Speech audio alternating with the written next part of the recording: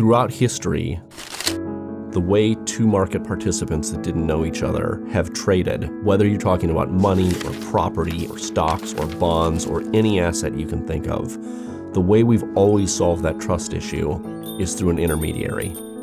Blockchain allows two people that don't know each other to trade with each other without the use of a centralized intermediary. My name is Stephen McKeon. I'm an associate professor of finance at University of Oregon in the Lundquist College of Business. And my research focuses on crypto assets, blockchain, security issuance, and mergers and acquisitions. At the most fundamental level, blockchain is a ledger of transactions, and ledgers are everywhere. For example, your bank keeps a ledger of how much money is in your account, the county keeps a ledger of who owns all the property. What makes it different than other ledgers is that it's not controlled by a centralized entity. It's actually not much different in some ways than what a bank does.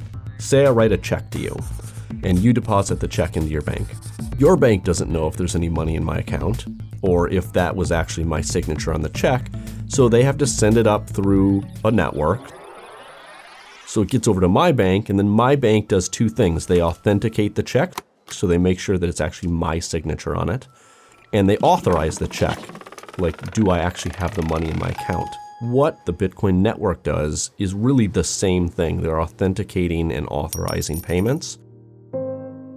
Blockchain transactions are, are very secure. The level of security is actually on astronomical terms. It is almost impossible to guess somebody's private key. That type of theft is nearly impossible. However, it can still be hacked, but in terms of the security of the network, that is immutable. And so it can create trust between market participants that doesn't otherwise exist. The idea that we can replicate that type of trading environment, but without the intermediary, is just a very, very powerful idea.